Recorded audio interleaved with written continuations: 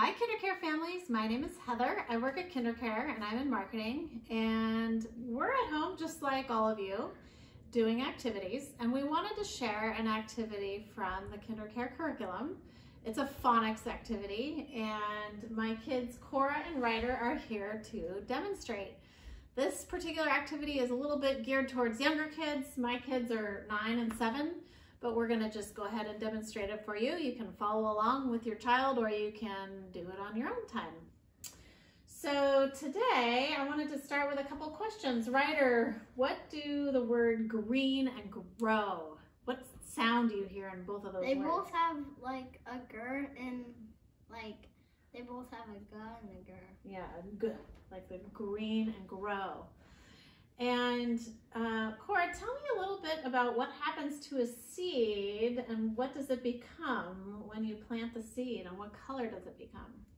The seed becomes a plant and it uh, turns green. It turns green, yeah. Like we have one right here that we wanted to share with all of you, our green plant that's growing. Ryder, what do you see in our yard that's green and growing?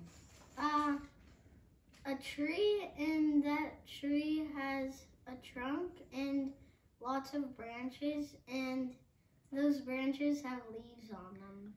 Yeah. And what uh, what does our dog Cooper like to dig around in and sniff around in that's on the ground, Cora?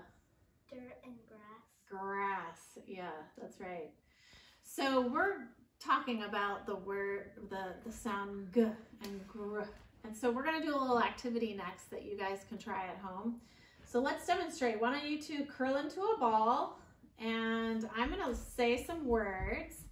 And when I say that noise, the, the sound g, gr, I want you to start to grow into a tree.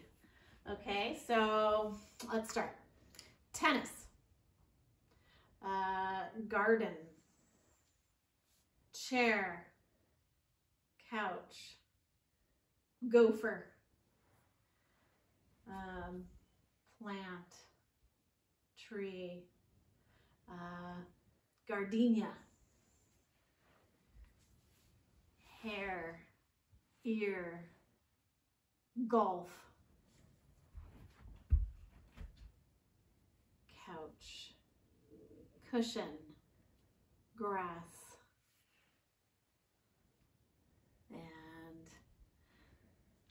um, water, sound, goldfish. And there you are, you're tall as a tree. Okay, now we're gonna make it a little bit harder. And I want you to listen for that g sound at the end of a word. And I want you to shrink back down into your little seedling, okay? You ready? Mhm. Okay, so Tom, pig, suit, large, big, dirt, uh, sky, wig, apple, uh, pear, fig, and there we go, back down into your ball. So if you have littler kids that aren't picking up on these sounds, you can do that at home and just do it with them. So they're learning those sounds as you go. So that's it for our exercise today. We hope you enjoyed it and that you can do it at home on your own. And we'll see you next time. Bye. Bye.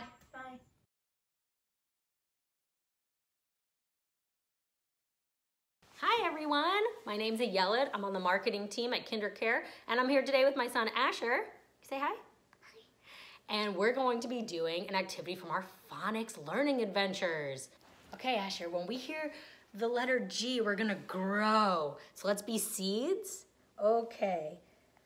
Does this word start with a G? Yeah. Green. Green, green. And then grows. And it grows. Okay, let's be seeds again. Okay, wait for the letter G sound. What about the word foot? Foot. Mm, That doesn't start with a G. Let's try another word. What about the word garden? Garden. Garden starts with a G. Should we grow like a seed when we hear G? Grow. And should we be seeds again? Yeah. Okay, let's try one, two, a few more words. What about the word train? Train. That doesn't start with a G. Let's say seeds. Okay, what about the word glove? Does that start with a G? G g glove. Yeah, it starts with a G. Can we grow? Grow. And does grow start with the letter G? Yeah. Yeah. Okay. Thanks for being seeds with us. Ring ring.